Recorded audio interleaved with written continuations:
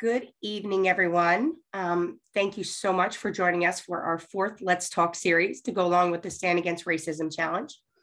Um, my name is Becca Cotto, and I'm the Director of Racial and Social Justice for YWCA Delaware.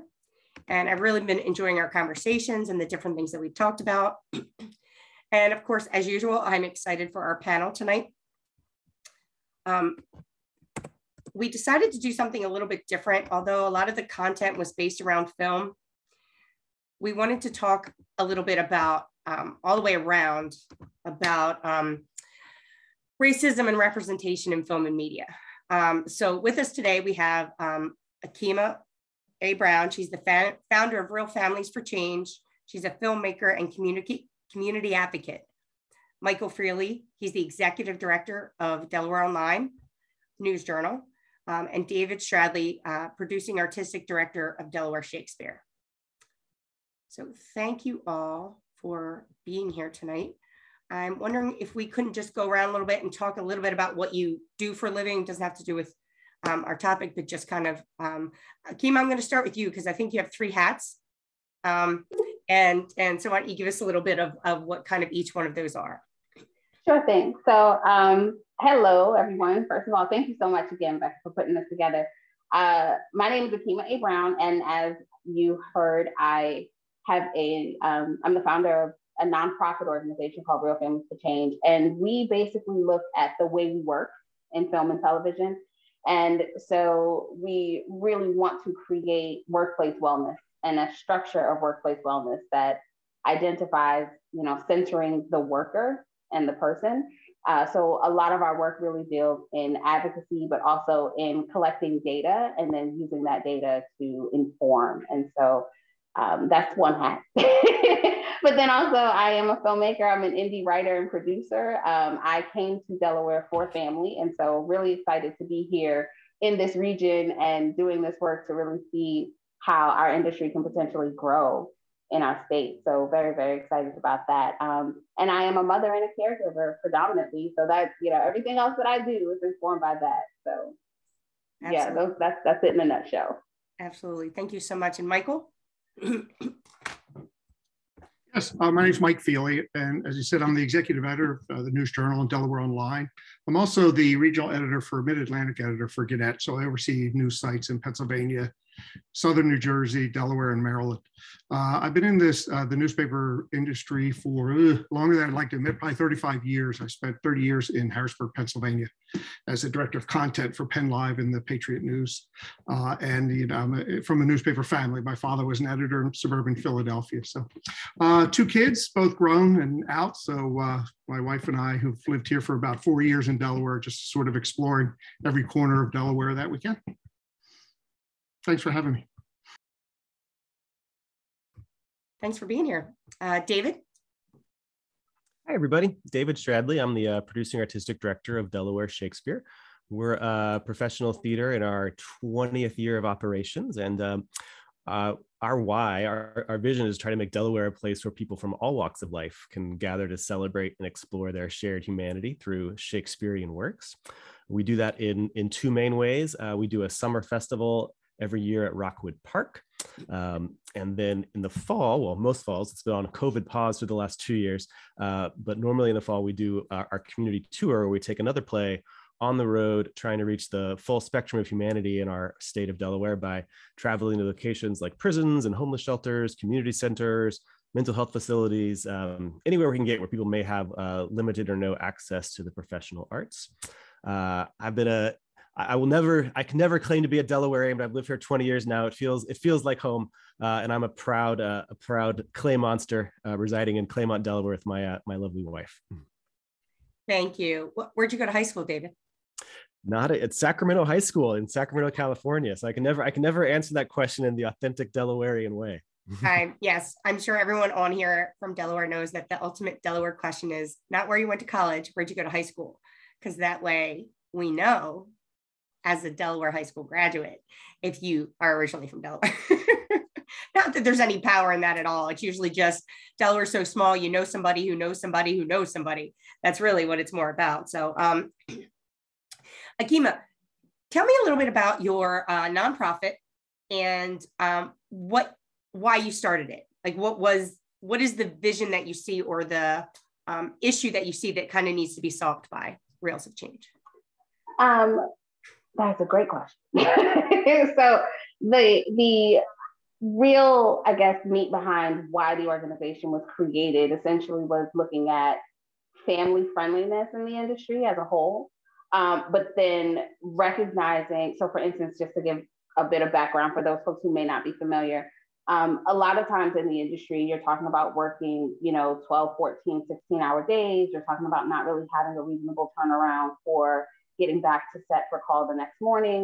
Um, you know, you're talking about hazardous work conditions a lot of the time. Um, there's, you know, quite a bit in terms of, especially our crew and those working below the line and, and folks who are working in the, the um, grip and electric section. You have folks who are really dealing with a lot of um, heavyweight materials and things of that nature. So it's a lot. It can be quite debilitating. And so we were thinking we really need to address and acknowledge the fact that families are not really conducive to this industry. Like you can't really have a family structure. But then we realized that there are a lot of systemic issues that take place that hinder even that conversation. And it depends on whose family are we talking about and who deserves to have that time and so on. And so our goal and our vision is really creating an equitable system where everyone has an opportunity to thrive in the industry, regardless of what marginalized population they may, you know, um, identify with, and that includes caretaker obligation as well.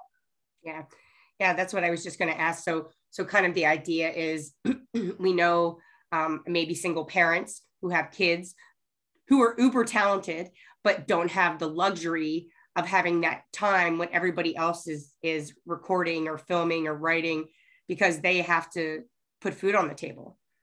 But exactly. you're you're talking about let's support these families and how can we give them support that they need to be able to to tap into their art? Absolutely. And it it goes even beyond once you start to break that down into certain racial demographics it, it gets even more complicated because you're talking about you know wage gap issues. You're talking about childcare accessibility, childcare deserts, um, particularly in the age of COVID. So you have, say, a Black filmmaking mother who is in need of these services, who's making less on the dollar, on top of needing to work additional hours, on top of having inaccessibility to childcare, on top. Of, so it becomes easier for her to simply say, I'd rather not be in this industry at all than I'm going to try to work all these things out and figure this out. So that's really where RFC comes in, and that we're looking at how can we take on some of these systemic challenges in order to offset that that issue for a lot of parents. And we have done a lot over the course of the pandemic with providing, you know, accessibility incubators, with doing training um, for decision makers, and offering sub grants to parents in the industry to kind of offset that, and particularly looking at our BIPOC, our BIPOC mothers in the industry and how we can potentially, you know, provide them with the necessary services so they can stay at work and they don't have to choose between, you know, do I make up? And we always say you shouldn't have to choose between doing work you love and building a life with those you love. Like those two things shouldn't be mutually exclusive. I love that. I love that. Thank you. Um, David, please correct me if I'm wrong, but I believe that over the last couple years, Delaware Shakespeare has made um, intentional movements to do something similar to what Akima is talking about and um, maybe changing the times of auditions or practices um, to be able to be more inclusive of um, other populations that might not have the luxury of just being able to come whenever. Am I correct in that? Yeah. So over the last two years, yeah, during during the pandemic, and then specifically um, sparked by the, the murder of George Floyd, um, we've we've done a lot of work to first and foremost create an anti-racism policy and plan. Um, but la- last year was kind of the, the first year we really put that into into action. And one of the things we realized as we were putting into action that there's that it goes it goes broader than just the demographic of of race. Um, yeah, and looking at caregiver support and um, you know, and, and, and, and other elements. So yeah, we've been, we've been working to try to create policies and practices that are, that are more uh, human centered. great. Thank you. Um, and is that working? um, are, are you able to have, or, or are you just now because of COVID actually um, coming out and being able to like, um, how many plays have you been putting on and have you been able to pull a more uh, diverse um, participation? Yeah, I, I want to, uh, I guess, acknowledge as well in this in this conversation about racism representation that as a as a, as a white man, I'm I'm not the, the demographic that is that is most uh, directly impacted by by all this. I want to most of what I'll share today. I want to thank um, a lot of the the BIPOC artists and audiences that have that have shared their their experiences and, and stories with us. Um, so I just want to thank people thank for their for their generosity in in in sharing with us and and letting us know how how they've been impacted by things that our organization has done and how how we can become better um, in the future. Um, so yeah, no, Delaware Shakespeare. I mean, we while we have not this summer will be our first year getting back to doing our full uh, outdoor Rockwood production, but we've certainly been very, very busy in the last two years. Um, and last year we were able to do a, a, full production of a Midsummer Night's Dream at Rodney Square um, and several other sorts of programs. And so one of the specific shifts that we we're making is, is last year was the first year on, on every production, um, we we had what we called an anti-racism liaison on the production where we paid one of the actors um, an actor of color a, a little bit more money um, to to kind of be the the point person on on issues that may have ar- arose during during the production. Um, and we got good feedback about having that sort of position. Um, but again listening and learning it was identified that it is placing it's, it's a valuable thing to do to make sure you have that kind of position um, but that it's a lot to ask of an artist who is already doing something on on the production. Um, so this year we're shifting to a what we're calling a community care liaison which will be a separate uh, position. Um, and yes grounded in values of anti-racism but also looking at yeah caregiving issues and and gender issues and, and that sort of thing. So that's that's one one of the you know we were able to apply that last year and then uh, got feedback about how it was how it was working and making a shift now now this year. Uh, you know one of the things i'm learning is you you try and then ask how it went and then make adjustments to try to do it better. Yeah. No thank you. And and i think that's um that's great that you're able to receive that feedback and just make it better because that's really what i think we're all after is making it better. Um, Michael, Michael's in the newspaper industry. Newspaper industry gets really rough rap. And I know, um, good or bad, I don't know, from every which angle, not just when it comes to race, but um, with, I know it, that um, Gannett, I know, I definitely know Delaware Online, um, and I'm assuming Gannett as well, has made um, intentional strides to not, I mean, we can start with, um, you know, mugshots, but I think has made an intentional move towards not bringing that bias directly into their uh, journalism. So if you don't mind talking about that. And- I think really what we describe it as we've been on this you know three to four year journey to kind of change the newsroom culture to repair relations with uh, communities we've kind of long ignored. So, really, the first step of that was kind of acknowledging the distorting effects that uh, just highlighting crime news, for example, in, in, neighborhoods without balancing that with you know positive coverage has a long-term effect. And some of our public safety reporting really had limited news value. It was more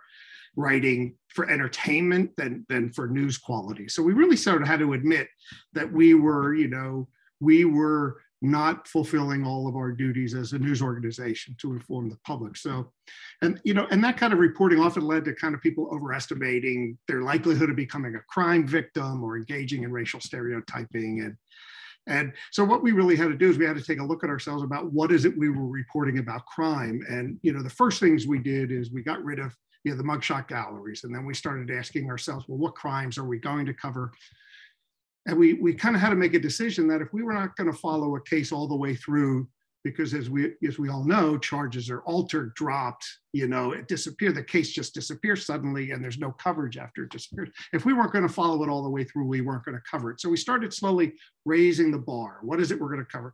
It has to have a community impact. It can't be just the you know you know the stories that are commonly in our business referred to the florida man stories you know the, all those stories that a florida man dot dot dot dot.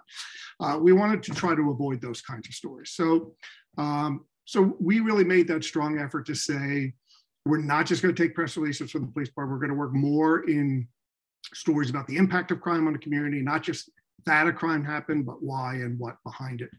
But uh, we did find that the, the, the mug shots were very you know, like like anything else, mugshots were selective. Who who we, were we getting mug mugshots of? They're very selective of you know, uh, of who they, we sent they were sent out and uh, the ones that we received. And when you start looking at them, and when you find that the white population of Delaware, like anywhere else, commits many, many, many, many more numbers of crimes than say the black population or people of color, yet the number of mugshots that are released to the public are more a high degree of people of color. So we sort of have to ask ourselves, why was that happening? And we had to take a deep look. So we just decided to make the, the, the call that we're just not going to run them anymore. Uh, there was no point in running them other than for show. So it's been this kind of journey as uh, it, about finding how, like, what was our role in this and admitting our faults uh, in this issue, and how do we do better? But at the same time, now we're bringing on reporters that internally we call underserved community reporters, and really, their job is to go into the communities that we've ignored and find stories and tell them. So eh, this is not a mission accomplished speech by, by any means, uh, but it is the beginnings of what we hope here locally and through the Gannett Company as a whole uh, are, are, are, are, trends that we will continue to follow up. Great. Um, just a quick follow-up question. Mm -hmm. Are the individuals that you send into those communities, are they representative of those communities? Yes, that is our hope uh, that they are. Yes. Okay. Uh, that is uh, when we when we hire, we're specifically not specifically hiring for a, a, demographic target, but we're, we're trying to diversify the staff to go into diverse communities to represent. So, you know, our argument too is, the, the and it's a very hard task. Uh, uh, it is a very, hard, it's, it's, not as easy as we even thought it would be. Oh, we need to diversify our newsroom. That is very difficult. Um, but when we you know diverse voices bring diverse diverse thought and diverse diverse opinion. And, it, and it's great to have kind of conversations with all kinds of diverse opinions mm-hmm. about what's happening with an issue. So we find the more we diversify our staff the more the opinions are diversified. That's great. Yeah. Yeah i think i think um, that's something that i think that we've all learned. And it's interesting to me sometimes when businesses still push back when we know that businesses that are out there to make money they know that they make more money when they have a diverse audience. So um, actually, that's going to bring me to another question, and we're going to pop around a little bit, but just because it triggered it. So, um, Kima, that is like one of the one of the things I was reading about is how movies are now trying to tap into the audience that they have neglected, and um, and how profitable they have found that it can be. Um, can you talk a little bit about you know about that? So i have i can i can talk a lot about that actually. Um, there's long since been a history of diversity in hollywood. However it when we talk about diversity it's the diversity that did not take place in the mainstream. So what i mean by that is you've always had quote unquote Black Hollywood, Black cinema. Um, that's always existed. The diversification is now coming in that the mainstream is beginning to realize that there is dollar value. Like if you look at, I think every year there's, I'm trying to remember exactly what Standards and Poor, um, what the number was for this year, but you know, just in terms of the black dollar and, and how the black dollar circulates throughout the GDP and, and just how much power there is in that. And so now people are trying to kind of tap into that market. My contention with that though is we have to be careful that we are not always just trying to check the box, that we're not simply saying, oh, this is what's going to bring in the dollars. So let's go ahead and do that thing. Are we actually acknowledging authentic representation? Are we actually bringing characters to the screen who have depth and who have, you know, is it not just the stereotypical comic relief and things of this nature. And how exactly do we go about that? And um, I will try not to go down the rabbit hole and keep this short, but a lot of that comes from who the decision makers are, but we're not seeing the same rate of growth in terms of who's at the decision making level as we are in terms of the, the content being made. So we're bringing quote unquote stars to make these movies, but then we're not bringing in people who can actually speak to how these movies are driven and how they're built out. And the reason for that, in my personal opinion, is because we're trying to bring in more numbers and we're not actually looking at the culture in which we're making these films and bringing people into. And so, um, Michael, I think you made a great point about changing the newsroom culture because the culture really is where it all comes into. Um, at RFC, we talk about first do no harm and this idea of, you know, if you're just bringing in more people to check a box and say we did the thing, you're actually bringing in more people to be harmed because you're bringing them into an environment that does not actually treat them well or fare well for them. So um, that for me, I love, I want to see so much more content. I'm a huge sci-fi fan. I want to see all kinds of sci-fi that, you know, stars, you know, people of color and that look at exploring worlds of lore in terms of, you know, ancient Africa and all of that. I want to see all of that, but I want to see it done well and I want to see it done true to form. And I want to see people who are driving the same kinds of, you know, conversations around Lords of the Ring, also driving, you know, people who are representative of that history driving that. So it, yes, it's happening, but I still think we have a long way to go in terms of how we go about actually doing it well and bringing it about well. So is Ava DuVernay doing it well? Yeah. Now, listen, I that's Auntie Ava to anyone who's listening. I know, I, I know. I, I, I, want you to talk about why she's doing it right. I want you. To, yes, yes, she yes. is. So she is, and the reason I say that is because it's it's multi-layered, and I think she's doing a fantastic job of it. One, not just looking at who she's bringing in, but how she's bringing them in. So having this wonderful list of BIPOC talent and bringing them on, but then also looking at how they're working and what kinds of environment and culture are we bringing them into?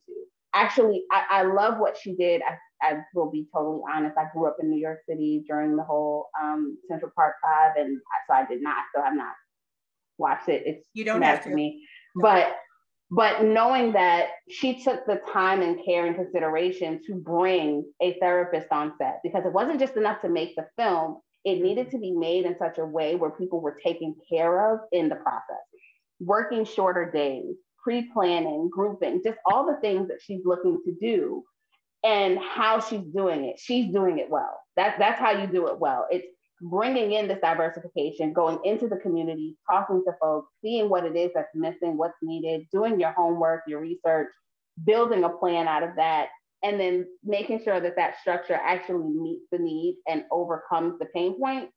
That she's doing it well. Yes, Auntie Ava, yeah. she's doing the thing. And I, I think even how she's building her coalition of others to say, I'm not doing this alone.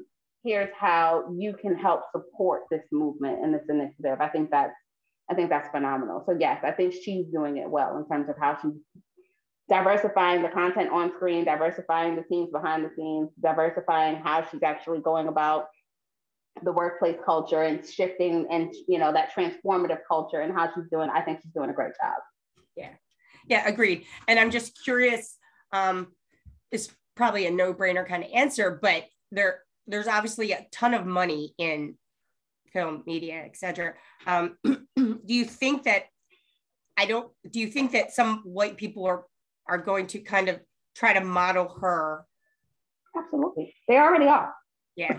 they already you you you will find, unfortunately, you will find a great deal of these lists.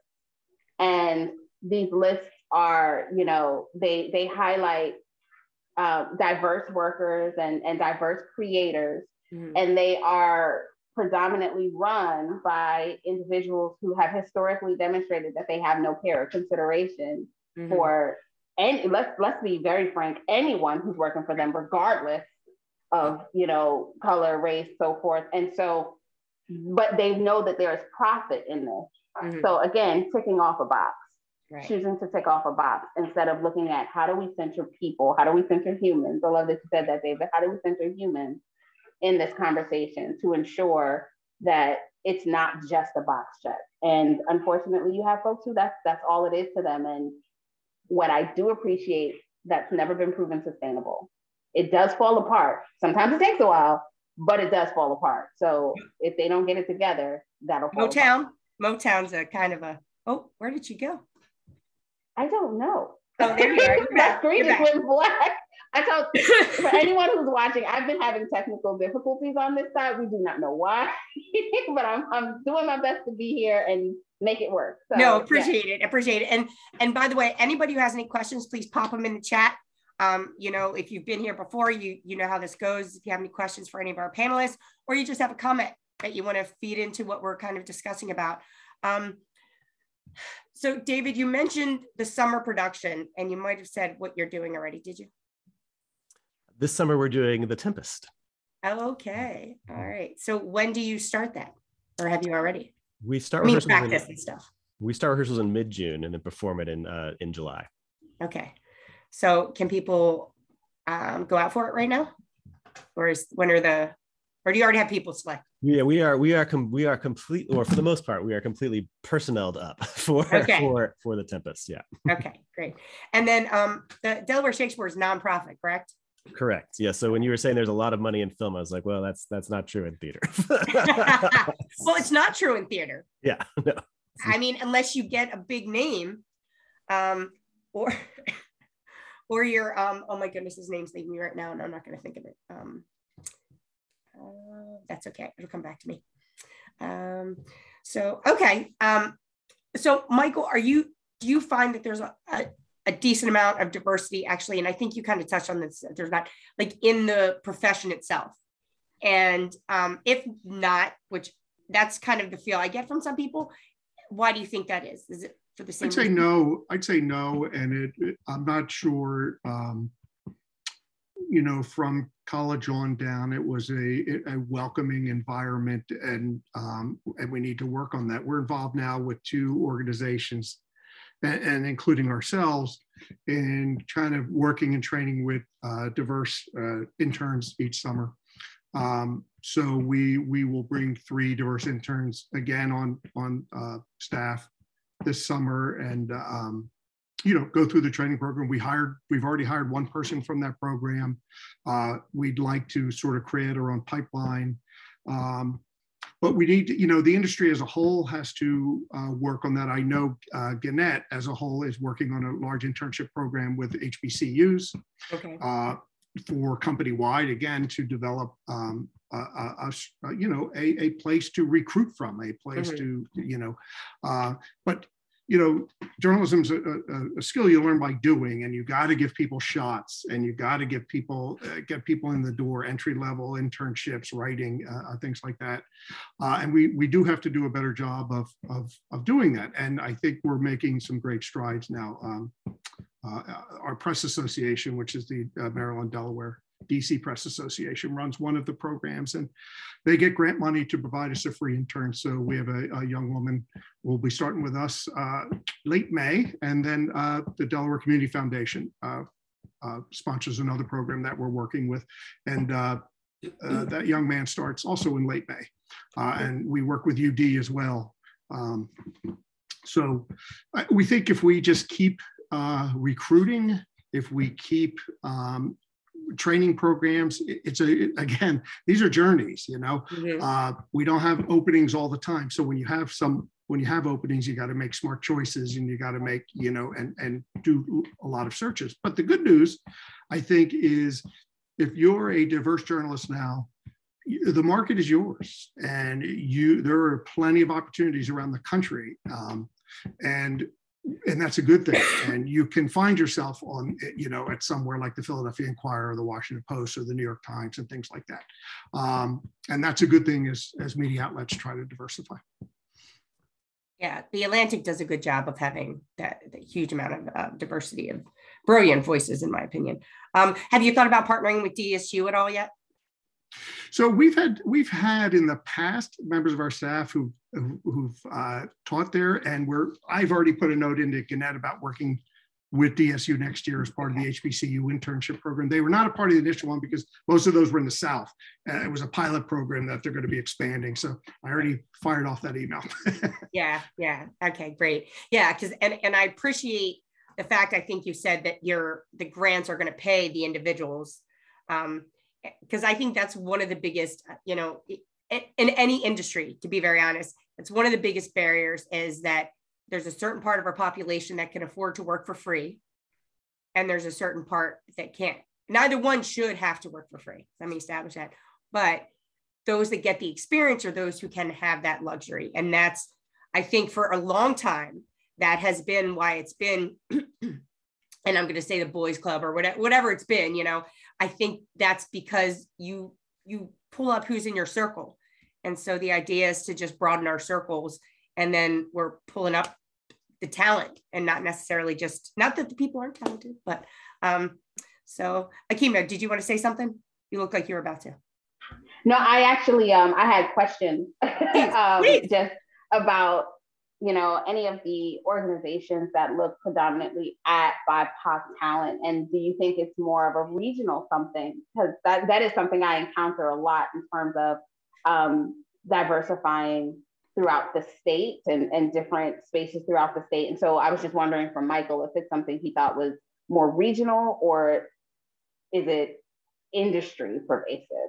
I think it's a little of both. Uh, it, it's interesting to me.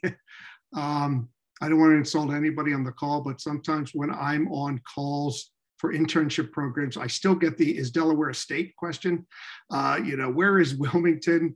Uh, things like that. Joe Biden's helped a little bit of people understanding where Delaware is on, on, a national level. But I think it's a little bit about industry and I think it's a little bit about regional. We have some really good journalism programs in the region. I mean, top-notch journalism programs at Penn State University, at Temple University, University of Maryland. So they surround us, and it's just about us working a little bit harder um, to attract talent. And and you know, while while we've always paid interns, um, you're right, it is a struggle because we all know renting an apartment in the Wilmington area eh, or, or, anywhere is really expensive, and then try to get a short-term apartment if you're an intern. So we, we, we have to work on when we're bringing someone in, you know, how do we help them get situated? Because most internships are 10 to 12 weeks. Um, you know, you're here for summer break, you do as much writing as you can and then and, and, how, and how can we help them? Um, it's not an easy uh, problem to solve. Yeah, thanks. There's um, a good question in the chat, actually. I think it's for you, Michael. Um, how has the closing of so many print news sources affected the hiring? Sorry, somebody else put in there. How affected the hiring internship options for BIPOC candidates? So the good news, bad news scenario is that while uh, print organization, listen, print is on the decline.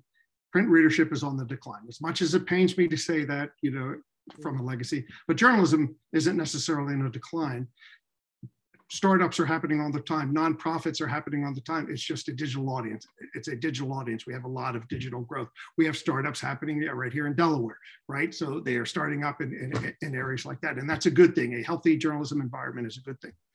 So I, to be honest, I think the, the, the environment that we're in right now is the best ever for journalist students of color to get internships because every news organization in the United States is looking to diversify and they're and they're looking to get diverse journalists. It is uh, diverse uh, uh, intern candidate.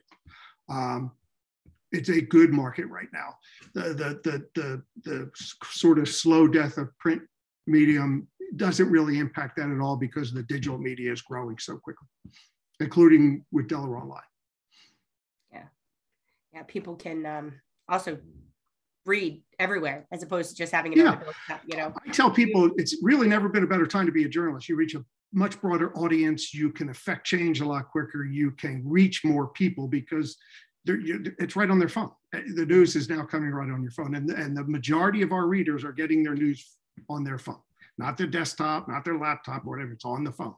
Um, so we can reach them right there through through many mediums. And you know our goal is to how do we create a model where we can survive you know subscriber only digital audience so we can be around for you know another 150 years? Um, and part of that is by attracting readers we didn't have before and that's what we're talking about today. Yeah. Um, Akima, how has streaming affected uh, the industry for bipoc um, uh, artist? So, one of the things that we're finding, particularly, and most of what we've discussed really has been more from a studio standpoint, not even really necessarily indie. Um, indie is an entirely different piece altogether. Uh, but as it pertains to streaming, because that does fall into the um, the sort of studio catalog, um, it's it's seeing a lot of the same trends as traditional, you know, movie media, moving media. Um, I think what where we are seeing quite a bit of difference is not the streaming, but more so content creation. That's really where the opening is, where you have people who, similar to finding journalism on your phone, um, people are creating content from their phone. And I think that there's a lot there with regard to how people are able to break in and sort of move themselves into and position themselves into spaces where then they can sort of say, you know, leverage their talent. Um, and that again, kind of sometimes it works out for them in the studio space, but a lot of times that really looks like opening doors into that independent filmmaking and independent direction. And that's always good because then you, um, I'm trying to follow the chat too. you, but then you also have folks who, because they're coming into that, indie is a great pipeline to studio if that's something you desire. There are ways to work that out.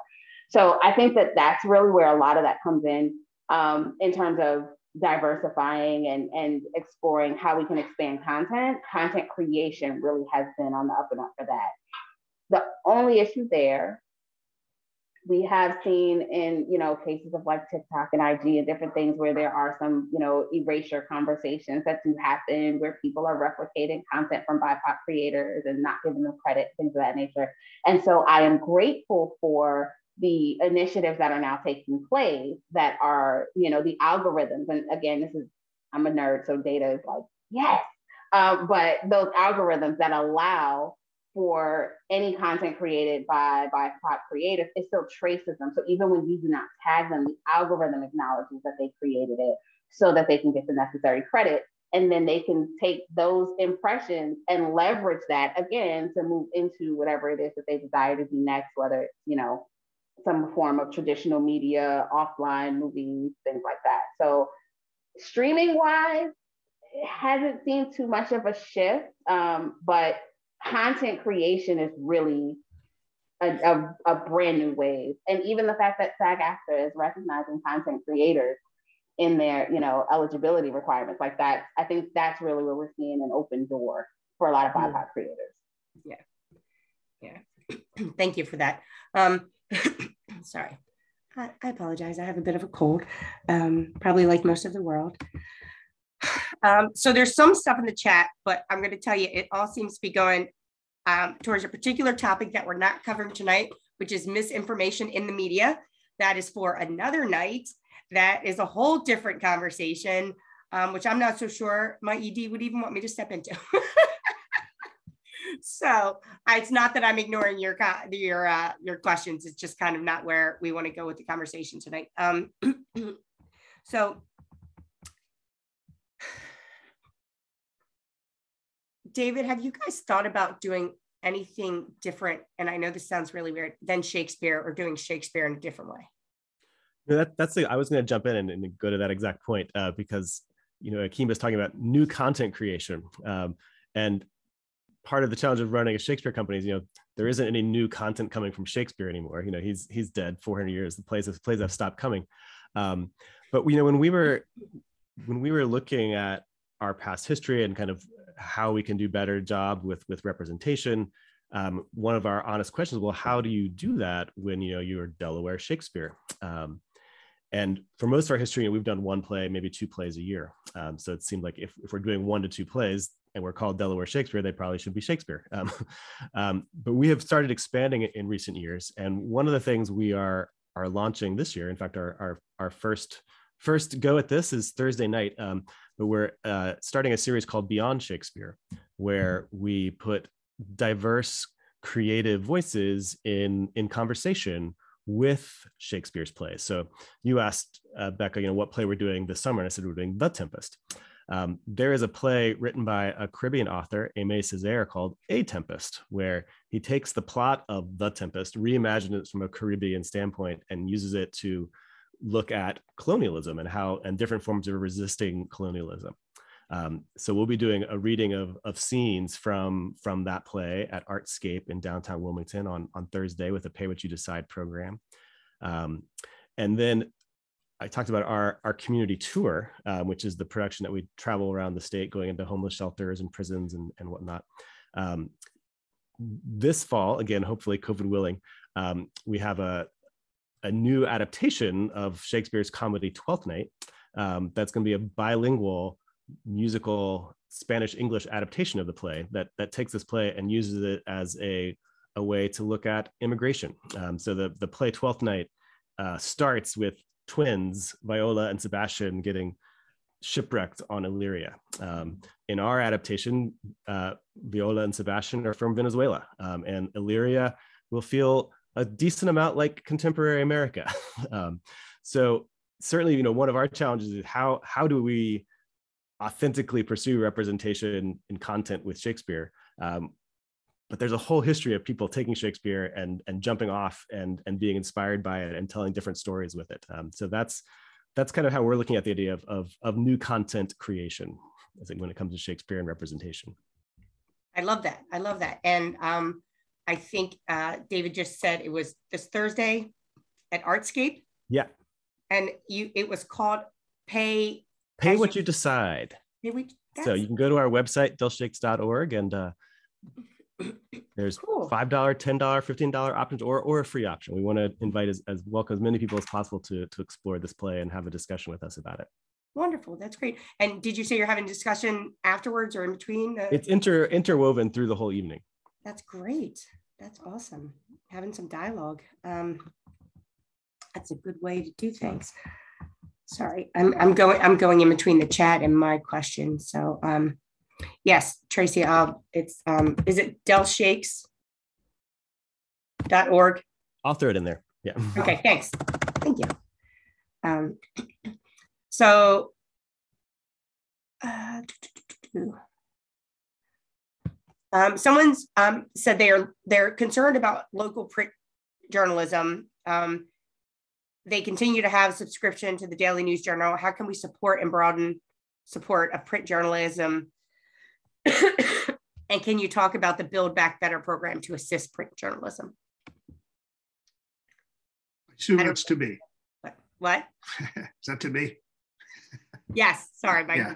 Um, I, if if I had the answer to that, I you know I probably wouldn't be where I am because it, we're you know this is a multifaceted problem that I don't want to bore people with, but um, obviously the, the, the readership of of the of the world is changing, right? How how people get their news with that is, you know, there's this massive increase in newsprint costs. So as there are fewer papers, paper mills shut down, having fewer paper mills, they raise their prices.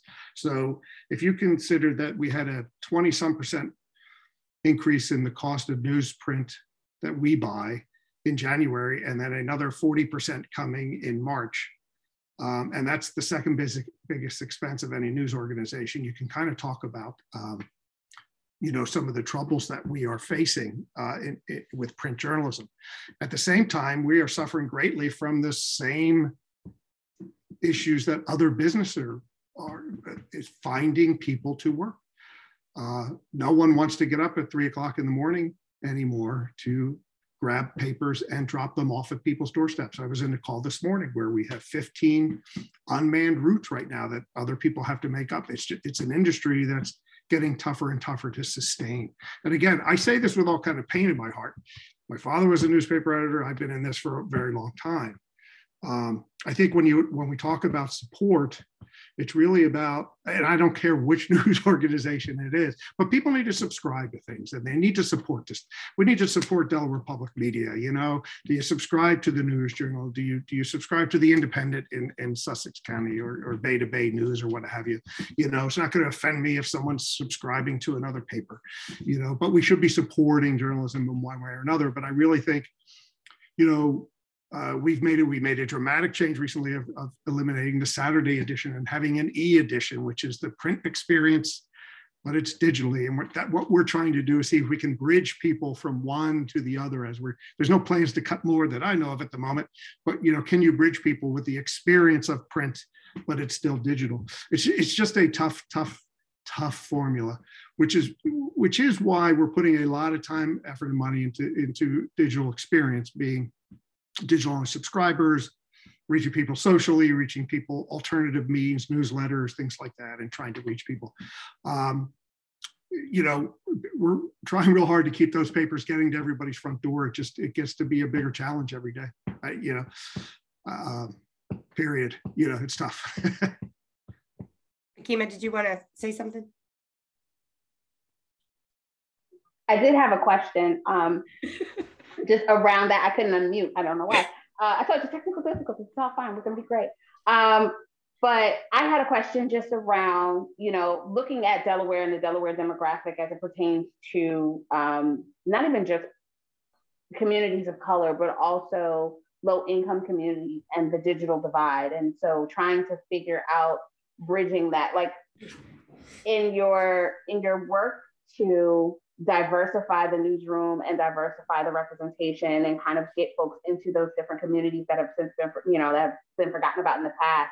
Are you finding that there are specific ways that you have to engage in those communities to address those issues as well? Or is that something that hasn't even come up as yet? No it, it has come up and I, and and, the, the first step in that process is being there right and i think that's the the step that we're in now is how do we get more. So we hired a young reporter named jose a very talented young man and, and um, during uh, the interview process when we talked about like what his beat would be and again internally we call it kind of underserved communities but he can call himself whatever he wants and he's like well what is it what is my job and i was like well you're going to tell me what your job is so i'm not going to create a beat for you i, I just want to let you go and then we're going to talk every once in a while and kind of create this beat so we're in the phase now where i think we have to be there right?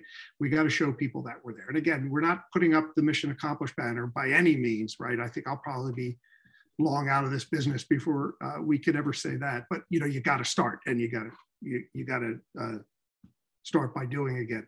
Um, so you know, he's having. So we hired a second person, Anitra, and she's doing kind of the same thing. And you know, we're seeing where that's building. So that's kind of where we're in that growth environment. And li- li- listen, our company is offering subscriptions for a dollar for six months. So it's really like they're getting these, uh, they're getting the price of these things as low as possible. So we're trying in many ways to get different groups, different people, and you know, people to read us. Um, but we're just starting by being there and kind of showing people that we're going to be out there, and that's kind of the phase that I think we're in right now. Can I jump in there as well? Please. Um because Akima, because this also somebody somebody in the chat asked if um, if online programs for Del Shakes had helped us reach a more diverse theater group, and honestly, I'm not not sure about that. Um, I think most of our online material was kind of just keeping us in, in, in touch with the audience that we already have. So I think for us, the, the tactics that we have found that have most allowed us to build relationships with with diverse audiences, or just as Michael said, we're are are going there. You know, so our our community tour goes out into the community and goes to community centers and throughout Delaware. Um, and then this past fall, we we did an experiment and did a production at Rodney Square. Um, and our our audiences at, at Rockwood Park tend to be probably almost 90% white. Um, and when we were at Rodney Square, those audiences were more like 30% um, of, of audiences of color. So we find that, you know, part of the experimentation we have to do is like, we can't, if we really want to serve our, our full community, we can't just do things the way we've always done them and have to look at where do we deliver our product and, and how do we get that and and for theater which is so much an, an in-person I, I, don't know if the digital really helped us with that but physically going to different places um, has helped us more with that. Thank you um, so much for that. Um, akima you should like been the panelist. You got awesome questions. Um, i just want to say one thing. One i did have a paper route for one year when i started my business because you know the first year in business you make no money and it helped me survive but it was up every morning at three o'clock. Seven days a week seven days a week people just note that. Um, and one of the things i was thinking about as you said that michael is that i know that they're a dollar for some subscriptions but then they end up like after a certain period of time going up. Is there any thought into and i know this is not a thing i always think like sponsoring a subscription for people. And I know you can do that by charging one population more and another population less, but or someone's a, a, a been a customer for so long and their their price goes up. But I'm just wondering if because sometimes what people will do is they'll PDF, in all honesty, um, because they want everyone, especially if it's a, a political story or it's definitely talking about race. Yeah, or we don't encourage that Yeah. because it's a copyright Of course. violation. Of course. but I'm um, not, yes, I got you. yeah. Yeah. no, but in all seriousness, there are things. Um, I, I was uh, uh, talking with a, uh, a colleague up in Bergen, New Jersey, and they are looking at sponsorships with libraries and sponsorships with school districts and sponsorships with colleges and things like Right. that. That maybe a subscription is part of whatever, or maybe if you're a member of the library, blah blah blah blah blah. So there are avenues to begin those reach out programs. So That's great. I remember when I was a kid, my dad would go to the library and all the papers would be on those huge wooden racks. Anybody remember? Okay. oh yeah, And, and he would sit there and read through like three different papers while I was doing whatever I was doing. But I guess digitally that can be done as well. Mhm. And um, um, uh, Akima, can you talk a bit more about um, BIPOC and science fiction? I love Octavia Butler. Um, and you just unmute. Um, sure. So I let me just check the chat because I don't think I fully understand the question. Is there more to it? Um, Uh, no, I think she's just talking about um, the the participation of the BIPOC community in science fiction, Oh, and is that growing? Is that you know because like you Oh, said, yeah. you love it, Oh right? yes. So and there's there's long since been a history of like there is and Octavia Butler is actually a great example of this um, in that there's always been sort of a, a fascination with the science fiction and and science fiction has often been a way to make sense of the somewhat incredulous um, and so I think there's a lot of there are a lot of authors and writers who address colonialism and who address racism and apartheid and different things, but from a sci-fi perspective, I think we're starting to see an uptick in this. Um, partially because as we talk about diversifying and looking at different audiences and what they want, um, again, BIPOC folks want to see themselves in the stories that they love. We want to see ourselves in, you know, the rom-com. We want to see ourselves in the sci-fi. We want to see ourselves in this Afrofuturism. Black Panther did a great job of like really bringing in not only the concept of Afrofuturism, but also the context of race and addressing race and racism and how it plays out throughout the diaspora. And so um, I think that was phenomenal. So yeah, I, I think we're starting to see an uptick in that. I think we're starting to see a lot of writers really delve into, and we're seeing a rebirth of Octavia Butler's work as well. So I think that also, as we see that resurgence, we start to see an uptick in some of the interest in how people begin to explore some of her ideals and you know some of her work and, and stories and things of that nature. And so um, yeah, it, it's coming about. I myself have like three sci-fi scripts that I'm, I'm like always tinkering with and playing with because I would love to see, I, I just would love to see that come on screen. And I think there are so many different levels and layers that you can play with in that regard as it pertains to, you know, science fiction, futurism, all those different kinds of things. And so it's definitely something we're seeing a resurgence of. I my only caveat is I just want them to do it well. I don't want it to be rushed. I don't. There's nothing worse than a bad sci-fi film, and just being completely transparent. I don't want to see a horrible sci-fi film that has a bunch of people of color just so you can say you ticked off two boxes. Like I, I don't want that. I don't want that. Um, I want to see us really engage in it and delve into it and do it well. So, and you have to make yeah. it. You have to make it. I'm for it. So just really quick, like complete and total shameless plug, Delaware film incentives. Let's go. I'm just okay. That's Yeah. Yes. And so talk a little bit about that because the reason that I Mhm. found you was someone said you were starting a Delaware, it, it wasn't your nonprofit. It was a Delaware, um, Delaware Collective for Creative Economy. You. and that, yes.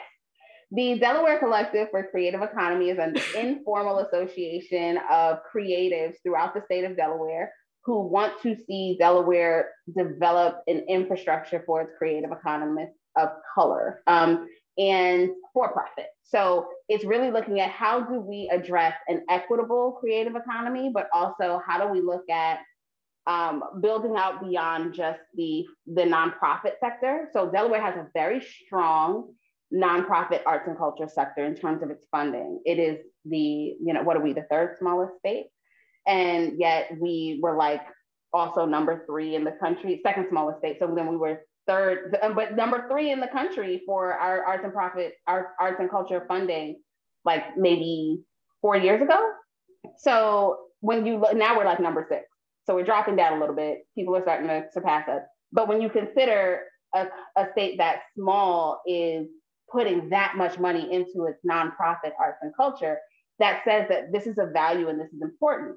What we oftentimes forget, though, is that there's also, um, I don't know what that says. I'll come back to it, Ms. Cook. Um, but it's it's also looking at how do we include and integrate the for-profit artists who are also in this space. And when we look at arts and culture in the state, I think it's something like 1 billion um, is contributed to the GDP for the state each year. However, of that 1 billion, almost two thirds of it comes from the for-profit sector, but there's no structure.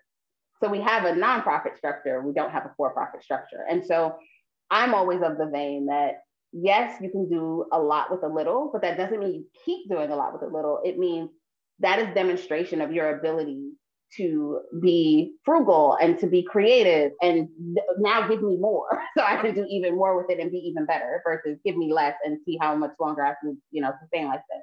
So that is um, that's a big big big thing right now. And we've been having a lot of conversations wonderful conversations but it comes down to delaware acknowledging and valuing its for-profit artists and for-profit creatives and looking at how they can better support them with necessary policy and infrastructure throughout the state. So it's a big, big, big, big deal for us. big, big deal. Um, yeah, if folks want to support that, it's at DE Arts Economy on all the social media platforms. We're we're trying to we want to, and you don't just have to be a filmmaker. Just let me just be clear we are looking at the creative economy. So that includes, yes, film and television, but also looking at music, live performance, fashion, um, gaming, you know, software design, R&D, like th- these are all part of the creative economy. Yeah, I think, I think art is, um, the creative economy is one of those things that we often discount and we expect to get for free. And I didn't realize that just generally, I, I work in social and racial justice space. So I'm always like, oh, can you do this or can you do that? And it's always volunteer work. And a friend of mine said to me, I said, oh, can you connect me with her? And she said, I will. She said, but you have to pay her. And I was like, okay. And she's like, we we are tired of working for free. She's like, I know it's racial and social justice, but we still need to eat. And I was like, you're right. Like it's it's just kind of a given because I think it's discounted a little bit as if it's a hobby by no means is it. Very much so.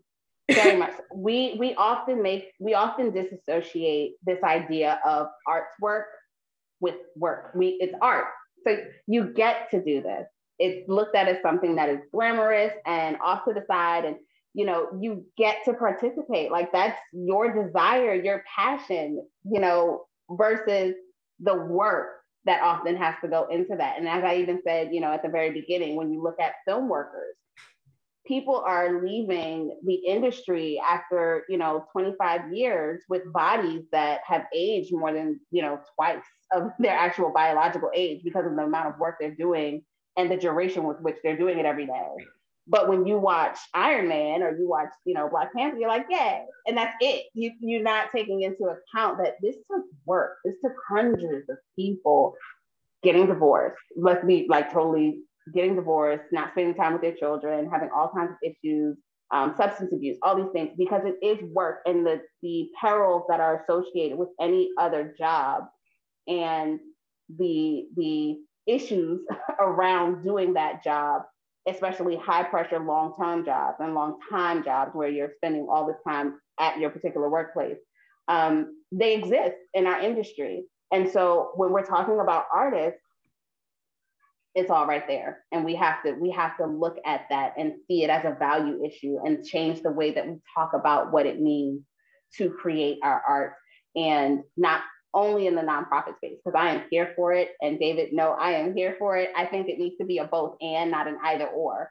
Absolutely. But until we acknowledge that you know there is also this other end we can't have the both and. If, if we don't acknowledge it and i'll you know, just because this is the topic of the conversation tonight. When we talk about Black Lives Matter, no one is saying other lives don't matter. We're saying we need to incorporate and include that Black Lives Matter too, because if we don't, then these other things can't, you know, we can't say all lives matter if we're not also saying Black Lives Matter. So it's the same kind of concept of until we acknowledge that we do have for profit artists who are here, who can contribute, who need to be seen, then it we have to include otherwise we can't have the both in we can never get there. So yeah. Yeah, yeah. i think delaware is a great art hub. Um, you know we're we're close to all the places. I mean we've had amazing people live here throughout history that have performed. Um, and i don't know if any of you have gone to the, the jazz fest. Um, but it is like one of only free, amazing jazz fest. Like I, I had a friend who moved here and she said, Do you know that, that, that these cost a lot of money somewhere else? Like you're getting this amazing content for like three days and it's free. And and I was like, really? And she's like, yeah. She said, this thing in California, she's like, it would be like $500 for a ticket. So anyway, if you guys have not ever appreciated, um, go to Rodney Square. Usually have really nice weather for it. Um, at least get one night. There's three or four nights of it, but um, I think somebody asked, but you might have said it, Akima. Um, you mentioned the the title of that organization. Do you want to put it in the chat for people? Do you mind? You're on mute. yep. It's not a Zoom call if you don't mute yourself and talk. Yes, it's not, that's right. It's not real. It's not a webinar. Um, right. I have a mug that says you're on mute. Yeah, I said my um my screen is gonna go blank because I'm on my phone, but I will I will put it here uh, in the chat. Okay, great. Well, um, do eh, do we have any other questions? Otherwise, we're gonna um, wrap up. If anybody has any other questions, you can go ahead and pop them in the chat. Um, and if I didn't get to someone, go ahead and stick that in. You can reissue that into the chat. Um, but this is a great conversation. Thank you guys. I love to have the the different angles um, you all brought so much to the space. It's it's really appreciated. And now you know each other, and who knows what happens out there in the in the media world. Um, I will say one of the things when I do um, a lot of talking about unconscious bias is this is one of my little tricks, and Dave has probably heard this in my in my um, spiel before. But one of the games, not even games, one of the things I like to do is when I'm watching movies or TV or even looking, I I notice right away when there's an unconscious bias happening and I don't turn it off, but I point it out to myself. And it happens more and more and more and more and more and more and more frequently, whether it be sexism, racism. You know, I went back to watch the 70s show a couple months ago and I was like, whoa, it is so sexist. It's crazy. But it's just what we've taken in our whole lives. And sometimes we wonder why we are where we are. And it's because we take in media unconsciously all the time. So let me see. I think there was one more thing, but um, Okay, I came up with that. I give everybody a second to take that on. Do you guys um, just give you a minute to close out and, and say goodnight? And um, we'll start with David. Akima still, or do you want to go first? Akima, you about to lose your battery or something? No, I, oh. I don't, I don't, I actually don't know what's going on myself, but I can go first. Um, I just wanted to say again, thank you so, so much for, you know, providing the space for this conversation and for us to really look around this. And I I would absolutely love to find ways to continue this conversation and deepen this conversation over time. And especially as we begin to grow our creative economy and our film production hub and space here in Delaware, and just really looking at how we can ensure that we are addressing those unconscious biases and, and really creating something equitable um, and inclusive for everyone. So thank you all for, you know, allowing us to be here and have this space. Thank you. I'll let one of you guys go. All right, I'll go. Uh, I, I too want to thank everybody. And um, you know, it, it's interesting to me that our job is to tell stories, but sometimes we, as journalists, we don't tell our own story very well, uh, and what we're trying to do, and as an organization, and and how what we're trying to affect change, and we do a horrible job of telling our own story. So I thank you for giving us the time here to let me talk a little bit about the direction that we're going, and uh, uh, I appreciate that very much, and I thank everybody for listening. Yeah, thank you for keeping these conversations going. Um, just kind of close with one story as to as to why we need to keep keep talking about representation and, and biases. Um, we uh, we took our our production of Romeo and Juliet on tour to Delaware State University um, and performed twice there for for students, uh, multicultural cast. Um, and when I was talking to one of the professors uh, a few weeks later, I asked her, "Well, what what feedback did your students have?" and she said they to a person said it was so good to see because we didn't realize that black actors could do shakespeare if it wasn't othello. Um, and that just that kind of you know made me collapse because that that's what our industry has done over over the years is to is to say who can be in what kind of roles. Um, and we need to create a world where we can step into roles uh, wherever wherever um, the the person is right right to do it. Um, and it's only by and as you said becca as soon as you you start noticing it you can't stop noticing it um, when you when you see these unconscious biases playing out in, in entertainment um, so i thank everyone for for listening in to try to become better better aware of that and how we can make differences together. Thank you. And um, please keep following us on social media. Check out our website. Um, we are running to michael's point about storytelling we're running an amazing program right now. It's a pilot program. Um, and it's um, tra- transformational racial healing conversations, and it's really just storytelling.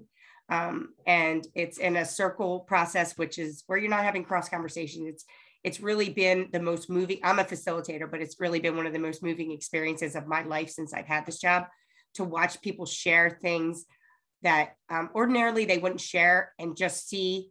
I'm going to go back to David's point and humanity. See the humanity in each other and understanding that we all go through pain and um, and we all go have joy. So good night, everybody. Thank you.